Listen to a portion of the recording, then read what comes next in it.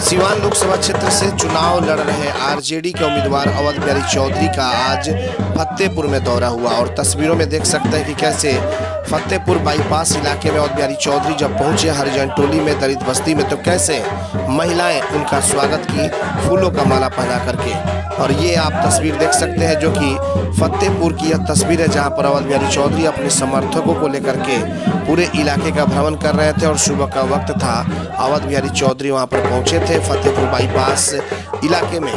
तो तस्वीरों में देख सकते हैं तमाम उनके समर्थक और किस तरीके से उन्हें सपोर्ट और समर्थन लोग कर रहे हैं। हरेंद्र पंडित जो कि फतेहपुर के रहने वाले हैं, उन्हीं के देख रेख में, उन्हीं की मौजूदगी में अवध बिहारी चौधरी का वहाँ पर स्वागत किया गया। तो तस्वीरों में साफ़ तौर पर आप देखिए, अवध बिहारी चौधरी का स्वागत किया जा रहा है। और ये तस्वीर आपको सिवान के फतेहपुर बाईपास रोड से हम आपको दिखा रहे हैं कि कैसे अवध बिहारी चौधरी सब पर भारी पड़ रहे हैं। समर्थकों का मानना है कि किसी तरह के कोई दाग नहीं है, इन पर साफ़ सुथरे छवि के व्यक्ति हैं और इसीलिए अवध बिहारी चौधरी सब पर भारी पड़ रहे हैं। बाईपास जो फतेहपुर का इलाका है, वहाँ पर पहुँचे हुए थे।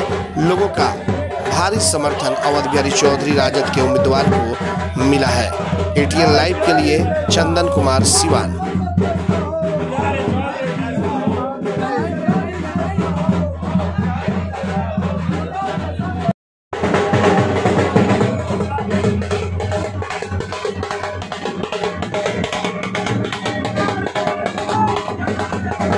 जा रहा है सर हाँ पूरा समर्थन और प्यार मिल रहा है। और ऐसा लगता है कि सीवान पार्लियामेंट की जनता सभी समाज के भाई हमें अपना आशीर्वाद देकर हमें लोकसभा के लिए एमपी चुनने का काम कर सबसे शिक्षित और सबसे अच्छे व्यक्ति के रूप में आपकी गिनती हो रही है पूरे वो तो मैं अपने मुँह से क्या कह सकता हूँ? मैं अच्छा हूँ कि मैं बुरा हूँ? यह तो सिवान की मतदाता को फैसला करना है? मैं तो अच्छा काम किया मैं गंदा काम नहीं किया। लगातार शहर से लेकर गाँव तक घूम रहे हैं। और शहर से गाँव तक सब लोगों का मतलब पूरा रुझान हमारे पक्ष में है। और जो प्रश्न लोग पूछते हैं, उसको खुल कर जवाब देता हूँ। हम थोड़े जवाब देने में पीछे हटने वाले हैं। लेकिन प्यार हमारे दिल में है। हिंदू, मुस्लिम, सिख, ईसाई सब आपस में भाई भाई ये हमारा सोच समझदारी है।